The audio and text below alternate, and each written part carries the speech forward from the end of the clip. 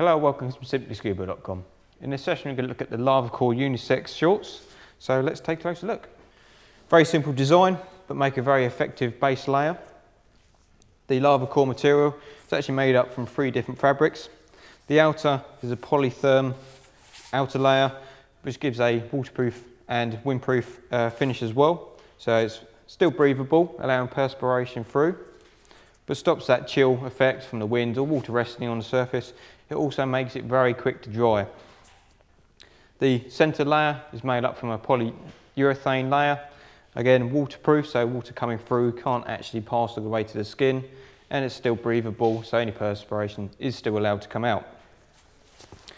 And on the inside, got a microfleece finish, great for warmth, incredible um, warmth for wetsuits, it traps the water in nicely. And also for dry suits, it helps trap that air, stops it flushing around and uh, losing that thermal properties.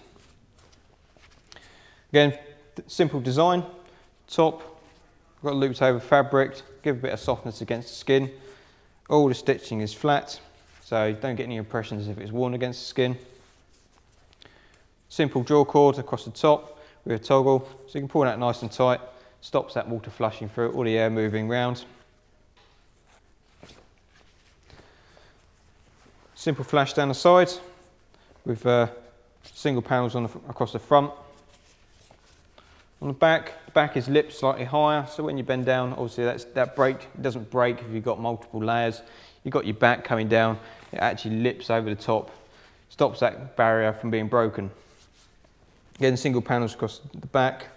You've just got a panel on the inside of the crutch just to give it that extra flexibility material itself is incredibly stretchy, four-way stretch, so it's very comfortable to get on and off, very easy. Overall, fantastic value for money base layer, great for wetsuits or dry suits.